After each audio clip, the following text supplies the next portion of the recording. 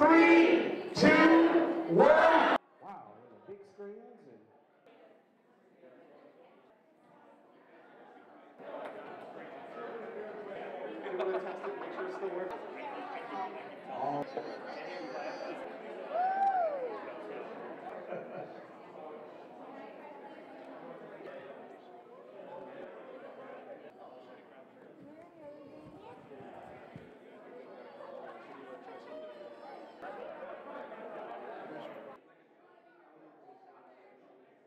Yes, their friends and family, uh, the uh, coworkers or whatever will sponsor them, just like a, a 5K, only you do it on the couch, um, which is the kind of 5K I can get into. But